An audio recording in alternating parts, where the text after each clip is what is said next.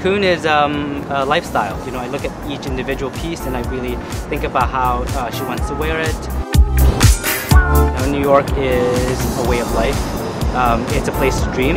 It's a place where you can make it.